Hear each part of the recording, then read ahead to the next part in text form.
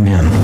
Amen. So turn over with me now, if you don't mind, and flip over to 1 John if you're not still there. We're going to continue our exposition. And really, this is part two of the text that we are have been studying the last couple of weeks, namely 1 John verses 1, or chapter 1, verse 5 to chapter 2, verse 2.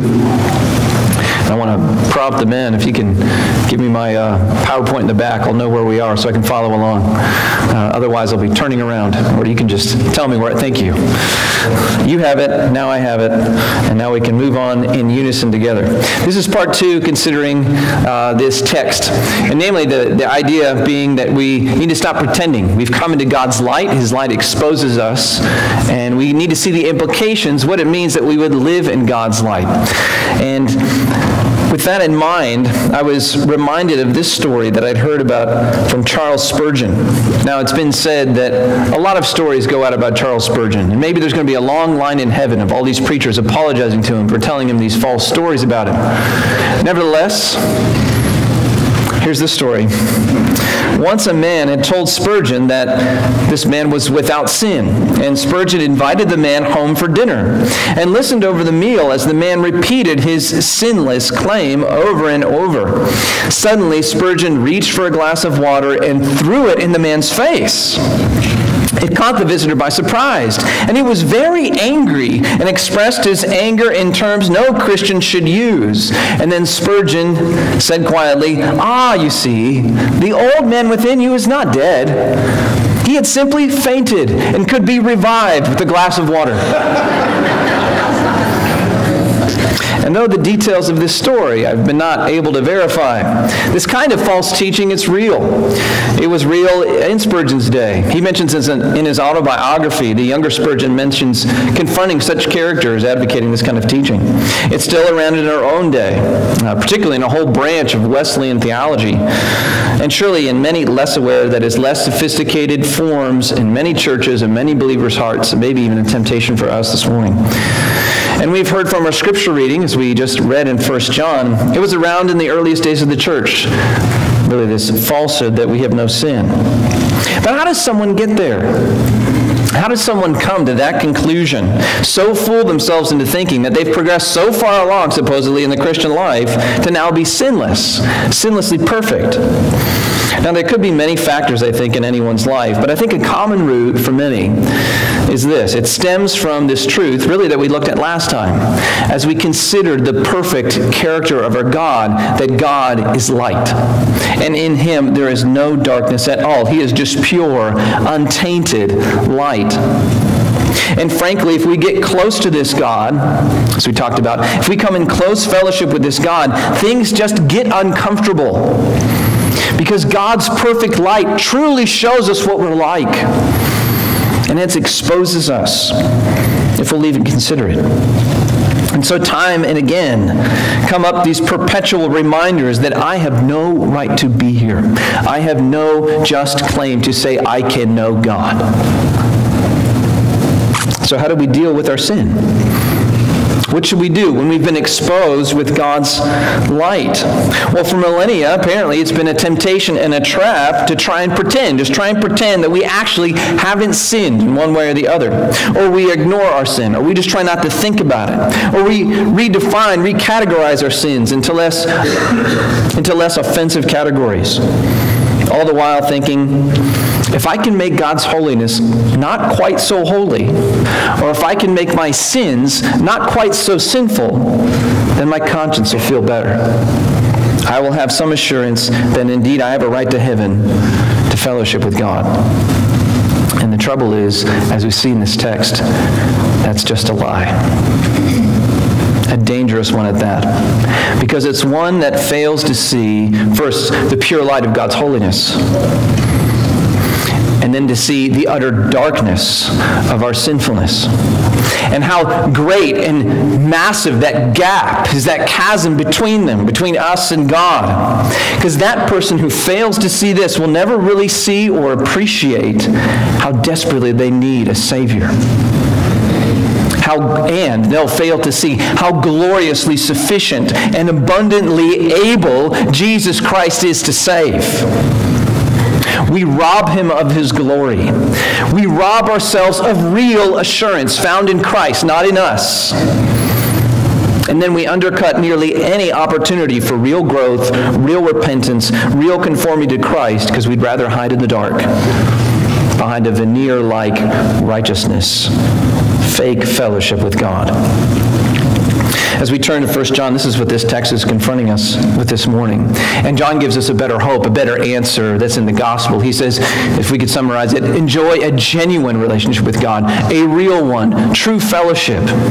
But that comes as you are exposed before God's light to be seen as you really are but then at the same time, that light directs you to a glorious Savior, a all-sufficient, most capable Savior.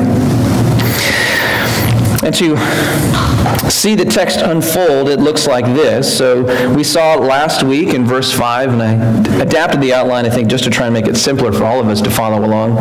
But verse 5 is this summary truth about God's character. What's he like? God is light. This is what we learn about him. In him, there's no darkness at all. So if we have a relationship with, if we have a fellowship with a God like this, it has implications for our, for our lives. And we see those unfold in verse 6 of the first chapter all the way to verse 2 in the second chapter. And in short, we must then walk in his light. We must live in his light if we really do know this God. So God is light and we live with him, and then accordingly, that creates these implications for our life. It has an impact on how we walk. And so he highlights three things, really confronting these false teachings. So we need to stop pretending that first. That's where we ended last time. Sin doesn't matter. If we're exposed by God's light, we need to stop pretending that sin doesn't matter, because it does. It's an indicator of where we stand with God. Second, we'll start this morning, we need to stop pretending that sin isn't a struggle. If we're really exposed by God's light, we need to stop pretending that sin is not a struggle. And then finally, we need to stop pretending that sin hasn't been done. If we really live in the light of God, we need to be open before Him. And that's the only way that we will see how holy He really is and how great our Savior truly is. So, with no further ado, as we prepare to come now to the Lord's table, let us go on and work back. And so, we're going to come to this. We need to stop pretending that sin isn't a struggle. We need to stop pretending sin isn't a struggle. This is the second implication as we think about what does our fellowship with God mean? What does it mean as we are exposed by His light? We need to stop pretending that sin isn't a struggle. Stop falsely portraying that we are super Christians know, that don't feel this internal battle and struggle against the sin of our hearts. The implication being that's normal for the Christian life to struggle.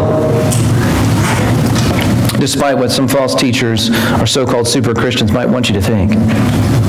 As we walk in fellowship with God, we must pretend sin's not a struggle. Verses 8 and 9. So as verse 8 begins of chapter 1, we counter that second false claim made by these false teachers. These, this attempt by these false teachers to belittle, to downgrade sin. Verse 8, if we say, so again, this is that trigger that we at first hear the false teacher. If we say we have no sin, we deceive ourselves and the truth is not in us. If someone's claiming Christ, if they claim to know God, and they also claim to have no sin, then you need to know they're self-deceived. The truth is not in them. They're portraying this alternative reality, this virtual reality that is what? It's no reality at all. But what precisely do these false teachers mean when they say we have no sin? This is a peculiar expression in the New Testament. Only John uses it, or he does so quoting Jesus. And to help clue us in what it means to have no sin, I want to bring up another reference to it, the same language in John's writings. It happens in a couple times, but I'm going to look at one. You can flip there or just listen closely. But John chapter 15, verse 22, from the Gospel of John. 15, verse 22. These are Jesus' words, and here's what Jesus says. He says, If I I had not come and spoken to them, the Jewish leaders, they would not have been guilty of sin. Now, that's the same language originally that we have that says have sin in our text. He says, they would not have been guilty of sin or have sin, but now they have no excuse for their sin. to have your sin, sin still with you. To have your sin in John means to be guilty of it to have an abiding guilt before God, that you are culpable. Your sin sticks with you and all its trappings and all its abiding guilt, everything that comes with it, along with its temptations to further evil. This is what it means to have sin. It clarifies for us what we're looking at here in 1 John. They say we have no sin. They're saying, I don't see any sin in my life. I don't have any guilt before God because I don't have any sin before Him. You know, I generally do pretty well. I typically do the right thing. And even these little mess ups I may have, they're not really sins. They're just momentary lapses, mistakes. But I don't have real sin anymore. I've progressed in God well beyond that. I'm a pretty good person now, and praise God for it. Sin just really isn't much a struggle anymore. And John's response to that kind of thinking is sobering as it is jarring. To say you have no guilt before God because you really do not sin all that much means then, he says, we deceive ourselves and the truth is not in us. If we don't think we struggle with sin anymore, we've only fooled ourselves. We're self deceived. We haven't come to the light. We don't see the truth. And this is the terrifying thing. If we don't think we struggle still with sin, if we deny that we have any sin, then we deny that we need a Savior from them. Do you see how this goes? And if we don't need a Savior, then why do we need Jesus? Now, notice how then John, this faithful apostle and pastor, comes and gives the gospel truth that confronts this lie. We look here in verse 9. If we confess our sins, he is faithful and just to forgive us our sins and cleanse us from all unrighteousness. So instead of saying, in contrast, right, instead of saying, we have no sins, what is the gospel response? Oh, we confess them. Oh, we have them. That's why we come to him. Instead of saying we have no sins, the gospel response is to confess our sins. We come out of the flattering lie that sin has nothing on us, and we own that. We let God's light expose us and reveal our sin and ourselves before God. And we confess, we agree with God that these are indeed sins, damnable hell sins failures of obedience, failures in motives, failures in attitudes. These are wrong. We are in the wrong. We are guilty before God. We are justly to be punished, condemned by Him. This is what it means to confess our sins before God. And if you ponder that even for a moment, of course, this is terrifying. If we can hold in our mind just for a moment what it would mean to stand guilty before the Almighty, to be condemned, thrown away, cast away from Him in our rebellion. I mean, I don't even want to think about that for myself or for anyone. And it seems like if I don't think about it, it just goes away. You know, some of us are afraid to go to the doctor because what the doctor might discover. And it's as if if I don't go to the doctor, I don't get diagnosed, and so I don't have the problem. If I never get the blood tested, I can never be confirmed to have diabetes. But of course, that's not how it works, is it? That's only self deception. The doctor doesn't give you diabetes, he only observes what's going on in your body. Some of us try and do the same thing with sin. If we just don't think about it, it's not there, and we don't have any guilt with God. But diabetes or cancer can kill you whether you know you have it or not. Just like sin. And here's where, though, the gospel comes in. Because as the very light of God exposes us, shows us our sin, that same light points us the way that sin can actually be dealt with fully and really. Again, verse 9. If we confess our sins, he is faithful and just to forgive us our sins and cleanse us from all unrighteousness. See then, because of Christ, to discover you are a sinner by God's mercy is not actually a cause for despair. Now, why not? It should be, you would think, in light of God's judgment. Why not? Because every sin in you that is exposed or shown, Christ has a perfect and sufficient answer for everyone. If we would only be those that see and confess. Be ones to humble ourselves before God and see and say, I need you, Jesus. I can't. I can't, but you can. Those are the ones that find forgiveness and cleansing. Those that know they need it, and those that see that there's no other answer but Jesus. Because notice with me something about verse 9. Perhaps it's a very familiar verse to you. Many of us have memorized it before. I have often long misread this verse to say this. It's an if then statement, which is a condition, right? So if this is true, then this becomes true. And so if you look at the text, this is how I'd misread it in my mind. If this is true, namely that I confess my sins to God, then the consequence is God forgives me. I confess, then he forgives. But that's not precisely how the language works here in John. Notice what's happening here. It runs a little bit differently. He says this If this is true that I confess my sins, what is the then? What's the consequence? What am I demonstrating or showing? Look at verse 9. Before the whole forgiveness thing comes, what happens? If I confess my sins, then what? He is faithful and just. That's the part of the confession. Now, what does this mean? By implication, it means this when I confess my sins to God, I'm not earning forgiveness with Him. As if my relationship with Him is some tit for tat thing. I sin, I confess, I'm back with Him. I sin, I confess, I'm back with Him. That's not how it works. As if He only forgives me on how articulate I become in seeing my sins and naming them. Our relationship with God, thankfully, doesn't work like that. He's forgiven us in Christ because Jesus died for all my sins, not because I'm an excellent confessor of them. You see the difference? Remember the story of Martin Luther in the confessional booth when he was still a, a, monk? He'd spend hours and hours confessing every minor sin in detail, even frustrating his superiors who once demanded, Luther, go and really do something. Commit some heinous sin, then come back here, but don't come back till then. Because at that time, monk Martin thought his forgiveness rested on him. But no, that's not how our relationship with God could possibly work. That's the truth of this text. Rather, our confession is an expression of faith, trust in the character of God that we've come to see in His light.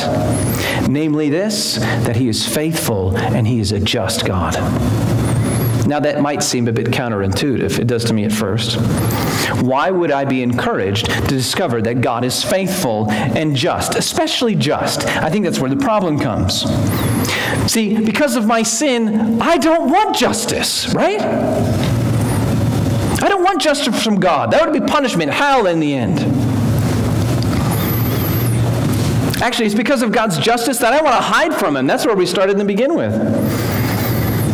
But now look at what John clarifies about God that he's faithful and just to do. Verse 9. If we confess our sins, he is faithful and just to forgive us our sins and cleanse us from all unrighteousness. What? Did you read that right? See how the blood of Christ mentioned in the verse before has just changed everything? He is faithful and just to do what? To forgive and to cleanse. That's the example of his faithfulness and justice. See, the cross of Christ has changed everything. That God is now actually just in releasing your sins from you. That's his faithfulness. He's being faithful to his word, his promises, to forgive sinners that look for life and forgiveness in Jesus. So much so that because of the cross, for God not to forgive, for, for Him not to forgive the sinners that look to Christ for mercy, if He wouldn't forgive in that case, that would be unfaithful.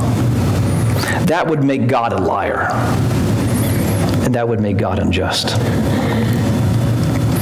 To not forgive in Christ would upend his word and the gospel promise itself. Like of course John 3:16, for God so loved the world that he gave his only son that whoever believes in him should not perish but have eternal life. That becomes untrue and makes God a liar if he does not forgive the sinner that hopes in Jesus. And so can you feel the implications of this? Once you discover and see your sin.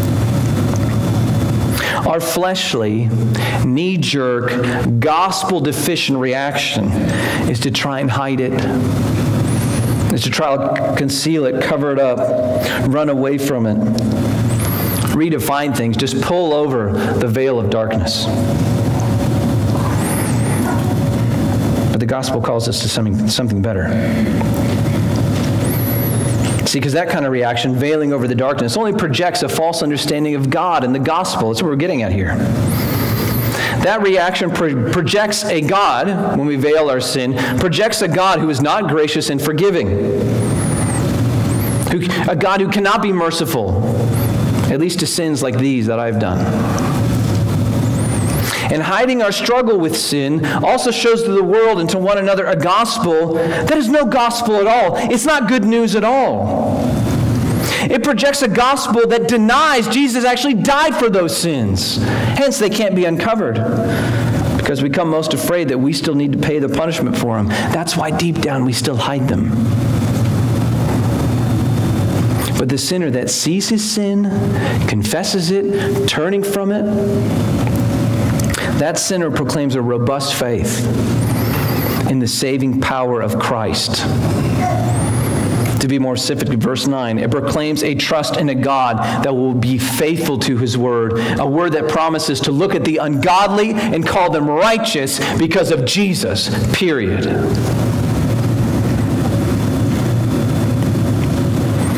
If we stay in the darkness and portray sin as not a struggle, that we don't have any guilt, we deceive ourselves, and we have a radical misunderstanding of the gospel. Thinking that God only saves the perfect, that He only saves the righteous, only saving those who help themselves. Or most tragically, we just demonstrate a radical disbelief in God.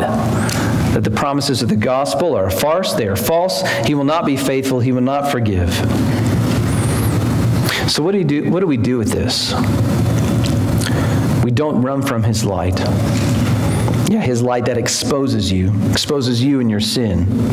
Because that same light points you to Christ, who to the great glory and praise of God will forgive it all, brothers and sisters. Cleanse it all. So stop pretending. Come to his light. Find a faithful God who forgives in Christ. So we stop pretending sin is a struggle. And just even in a similar way, but a little bit different angle, we stop pretending sin hasn't been done. We stop pretending that sin hasn't been done. This is the third implication of our life with God. Given that He is God, He is light, and we're in relationship with Him. And again, this is similar to what we saw just a moment ago, but it has a little bit different emphasis here. So there were some false teachers saying they no longer struggle with any sin. They no longer have this ongoing battle with it in their heart. Others were even more boldly proclaiming they'd never even committed any sin. Sin had never been done.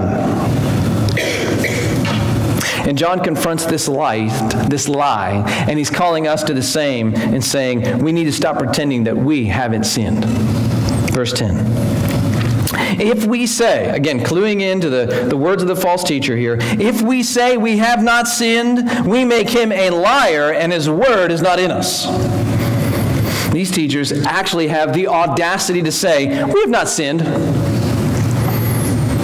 They've kept themselves supposedly in the state of sinless perfection. They have no sin, they have no guilt, they have no culpability with God. And so then the most tragic thing is, as we mentioned, they don't even see any need for a Savior, do they? Why would they?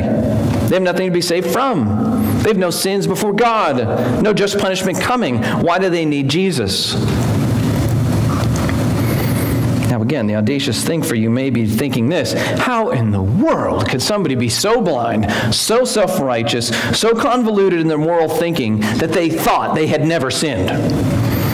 I mean, even in our common expression, we say to err is human. Everyone knows they have sinned at least a little, right? Well, if you go and talk to people on the street, I'm always surprised about how many people think fundamentally that they are a good person. And maybe you're there even this morning if you haven't been there. They, for all practical purposes, do not think that they have sinned and in part because they want to define sin by the usually the most egregious acts that you can imagine. You know, the classic response, I'm a pretty good person. I haven't murdered anybody, as if that's the standard of what the, you know, the lowest bar of what good is.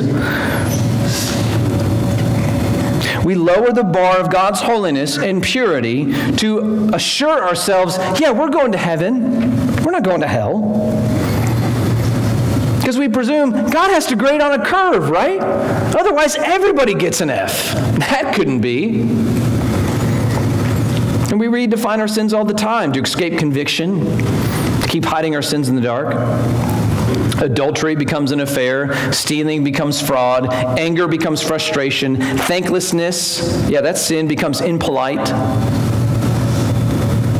Overall, sin becomes a little more than an undesirable habit. You know, probably something you should refrain from doing, but not something that's actually wrong, immoral, evil, evil. Certainly not something that would warrant hell. And so we buy the lie. No. He was talking about something else. He was talking about sin. And, and that's just not what this is. I haven't sinned. And that kind of thinking, as John points out here, is more than faulty or errant, it's evil. Notice how the Apostle John assesses it. Verse 10 again. If we say we have not sinned, we make him a liar. And his word is not in us. If we dare claim that we have not sinned, though God's word clearly says we have, we are not simply in error, we are blasphemers slandering God. John bids us here come into the fellowship of God's light. To be open with Him about your sins, even about your past, your rebellion, your heinous tendencies. We are all sinners. But there's hope here, even yet. Look now at chapter 2. My little children. I'm writing these things to you so that you may not sin, that wasn't evident already. But here he comes with one of those purpose statements of the letter we talked about in the introduction to the book. And as you keep reading this power punched, no gray area kind of book, it becomes much more obvious even still. He's trying to keep us away from sin. But being a wise pastor and a good shepherd, with all of that said, he knows the temptation for us to despair, the great discouragement that it comes, probably especially to those who love Jesus most when they find sin in their life. Do you know that feeling? They are the ones usually most pained by it when they're confronted with great sin. And in that sense, all sin is great. And so, as sin is found in us, battle that despair, John points us to these glorious gospel truths that answer our despair, that answer our sin problem with hope. So instead of pretending you've not sinned, staying in the darkness with no hope, he gives the colossal gospel hope in these words as it just begins if anyone does sin. I'm writing these things so you wouldn't sin, but here we go. If anyone does, there's hope for sinners here in this book. Let's keep reading verse 1. But if anyone does sin, we have, we have an advocate with the Father, Jesus Christ the righteous. So if you find yourself this morning to be a sinner, you find yourself walking in darkness, too much darkness, you find sin present in your heart or evident in your past, do not attempt to calm your conscience with false hopes of, I promise to do better. Or vain attempts to pretend your sin really isn't that bad. That's not the answer. Because that's looking at you. You see how this works? This gospel call, where does he point you? He doesn't say, oh, you'll get better in time. He says, we have an advocate who does it in your place. This is the gospel hope. To look outside yourself and your sin and look to Jesus as your only hope. If anyone does sin, we have an advocate with the Father, Jesus Christ the righteous. Oh, I wish we had time to spend so much more on this, but let's highlight a few things as we come to the Lord's table. What do we see about our Jesus here? First, he is an advocate, he's an intercessor, a mediator. He is the one who brings us to be at peace, reconciled to God, despite how big and huge, how, massive that chasm is between us and between Him, between our sin and His pure light. He bridges that gap entirely. He comes to our rescue. He makes peace. And he does so pleading on our behalf before the Father. In Jesus Christ, believing sinners have a more than sufficient advocate for their defense. He never loses a case. His clients every time hear innocent, righteous proclaimed at the judgment. And why is that? Well, because he is a, secondly, a righteous advocate. We have an advocate with the Father, Jesus Christ the righteous. See your sin, I think you have to ask the question what could Jesus possibly say to make me at peace with God? Well, here's what he says He pleads his righteousness in your place. Again, we have an advocate with the Father, Jesus Christ, the righteous one. While we have all kinds of unrighteousness, our, our unrighteousness is eclipsed by his righteous life. His righteous life that's given to us, counted to us, so that we are indeed cleansed, seen by the Father only through that righteousness. As Paul puts it in Philippians chapter 3, he says, That I may gain Christ and be found in him, not having a righteousness that's my own. Again, we're looking outside ourselves. That comes from the law. But that which comes through faith in Christ, the righteousness from God that perfectly exacting light of God's holiness in law is met perfectly, entirely with Christ's righteous life given to you that righteous life given to you that's as good as if you had lived it right before the Father's face. What a glorious and perfect Savior we have in Jesus. And He's able to give us His righteousness. He's able to be this perfect advocate because, third, He is the propitiation for our sins. He is the propitiation for our sins. Verse 2. He is the propitiation for our sins. Most basically, this word propitiation means a satisfaction of wrath. A satisfaction of wrath. And I think we get this, especially if we have been trying to hide our sin, right? The punishment for sin is death. One day it will be physical death. But that's going to give way to full spiritual, ongoing death in the torments of hell. To be found a sinner before God our judge is a horrifying future. But this is where Christ, our advocate, our defender, comes in, showing his wounds, his spilt blood poured out on our behalf. And this is how he clears us before the judge. Because his death was in our place. He paid the full penalty that our sins deserved, that the wrath of God justly was upon us. And so, as the Father's wrath was poured out upon Jesus as he hung on that cross, Christ absorbed every drop of it for you. Every last drop of the wrath of God for this glorious, hopeful, joy creating result. The fullness of his punishment was executed as he executed his son. The totality of the penalty was paid, paid in full. No drop of that wrath remains, none of it. Not a drop will fall upon us. That means his wrath, his justice is satisfied, his wrath is gone, and so mercy is here at the cross for any sinner, for anyone that sins, but will lean upon, rest upon, call upon the righteous Jesus to be their defender, mercy is here. He is our only hope, our only advocate. And as we receive full forgiveness, full mercy, we're beckoned and brought into that fellowship. And even still, God is still good. He is still just because he punished sin to its fullest degree.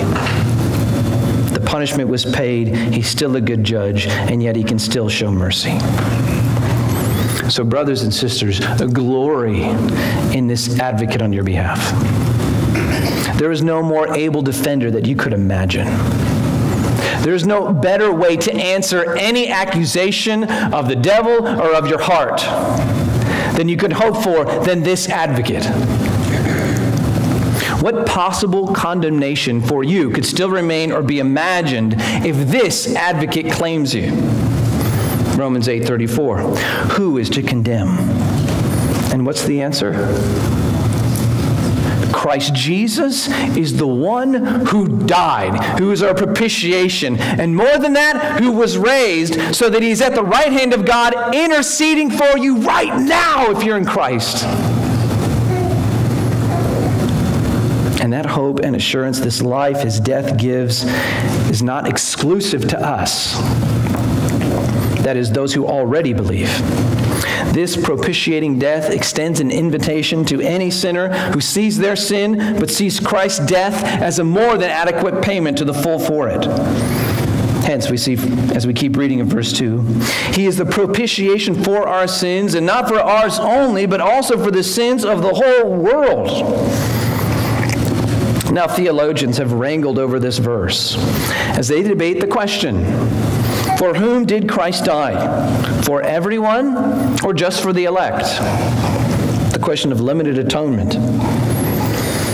Now, we know from reading this letter, or, or, say reading John's gospel, whatever is meant that he is the propitiation for the sins of the world, it cannot mean that Christ has taken away God's wrath for everyone individually. Otherwise, Jesus' words in John 3:36 make no sense, which read, "Whoever believes in the Son has eternal life. Whoever does not obey the Son shall not see life, but the wrath of God remains on him." So, however this works, Christ's death in the end only satisfies the wrath of God for those that trust in Christ, who claim Him as their only hope before God. But this much is also true. There is no sinner, no matter how grave, no how seemingly far gone, no matter how evil they seem, or how perverse they are, or no matter how habitual, there is no sinner in all the world that will find anything lacking in Jesus' death for them if they would claim it, if they would turn from their sin and own Him and trust Him. Christ's atonement will never keep any sinner at bay if they would just confess and come. Is that not a message we need this morning? And is that not just a glorious message that we need to be reminded of as we come to this table? Because as we come, we are proclaiming the Lord's death until he comes. Because our only hope when he comes is that Jesus is our advocate, pleading his cross for us. Let's pray, and as we do, I'm going to ask the men to come forward. Let's pray. Father, we thank you for this glorious gift you've given us in Jesus. That he is truly our advocate, that he is our defender, that he is interceding for us actively right now for each sinner that looks to him. That all you see in us, your church, is righteousness, purity, blamelessness, that we are before your light, but that's only because of this glorious gift of your Son and what he's done. This gift that's even given us your spirit, changed our hearts, made us to believe, and brought us into faith. What a gift you've given us. We give you glory for it. But as we come to your table, we confess our sins afresh as we see them. Pray you might even in our midst this morning expose our sin in our hearts, that we might turn and repent. Doing so ashamed of our rebellion, but also confident in your mercy because Jesus' death was absolutely enough. Strengthen the faith of your people to know this, and may we go changed, conform to the image of Christ, because we've been shown mercy at the cross. It's for his glory we pray.